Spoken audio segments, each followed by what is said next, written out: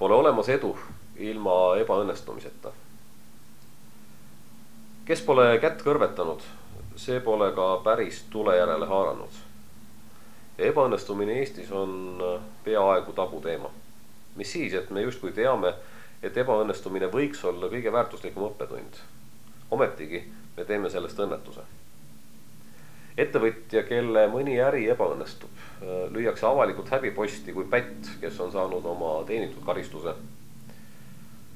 organisatsioonid kordavad äh, juhtimisraamatute aabitsatõde, et vigade tegemine on lubatud ja nendest tuleb õppida. enamasti tühi jutt. kõigepealt leitakse kiiresti süüdlane. ja inimesed ei ole rumalad. Nad teavad, et kui nemad süüdlaseks jäävad, siis parem on nendest vigadest mitte õppida, vaid vastupidi. Ähm, kui ei tule asi välja, siis tuleb peita kõik jäljed, et üldse kunagi üritatud on. on aeg äh, normaliseerida ebaõnnestumine. ühe juhtimiskonverentsiga ei muuda hoiakuid. möödunud aastal ma usun, et me suutsime äh, vallandada ühiskonnas tõsised arutelud teemal Eesti riigi pidamise reform ning Naised ja võim. ma usun, et tänavu õnnestub meil alustada ebaõnnestumise normaliseerimist oktoobris Pärnus